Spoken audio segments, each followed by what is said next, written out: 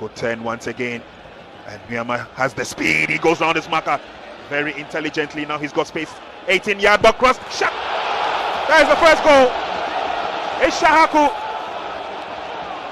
Right place, right time. Knocks it on. Dead on target. Ghana is up by one. Yeah, it's a fabulous goal. Brilliant goal again. It's Newman with that magic feet, lovely skill. Went past the Algerian defender and sensing a talent cross. It's amazing delivery. And what a finish from Fatawu Issahaku. Those two combined to score that goal in Algeria. But again, Newman with a lovely chip. Guess who is connecting that ball? It's Fatawu Issahaku. Two goals in two games. Super build up. Lovely chip up front. Hangs the ball in the sky.